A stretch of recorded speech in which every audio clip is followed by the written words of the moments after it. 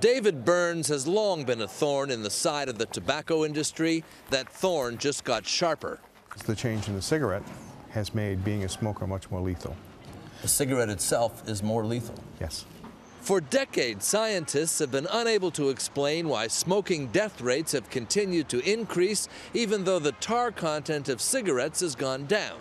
Burns uh, has charted the gap. The actual number of people dying is far in excess of the That's predicted right. number of people dying. And you can see that when you get out here, that's more than a doubling. Right. Burns blames the high death rate largely on changes in the way cigarettes have been made over the years. Fresh, smooth, and unforgettable. In the old days, tobacco was simply hung in barns to be cured. But for the past 50 years, most American manufacturers have been using a more controllable, gas-fired drying process. And that process has caused a highly carcinogenic substance called tobacco-specific nitrosamines to form in the leaf.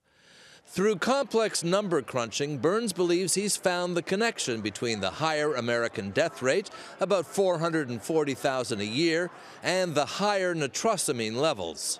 The number that I've used uh, for a long period of time has been 40% of the people uh, who smoke will die prematurely of cigarette smoking disease unless uh, they quit smoking. And this would suggest that that number probably ought to move closer to 50. For further proof, Burns looked at Australian smokers. Their cigarettes have lower nitrosamine levels than American. Their rates for the most deadly lung cancers are also lower. The tobacco industry says it has not seen the study and so can't comment on it, but notes it has not yet been subject to full scientific scrutiny. Congress is now deciding whether to move control of tobacco to the Food and Drug Administration, where the content of its product could be more tightly regulated.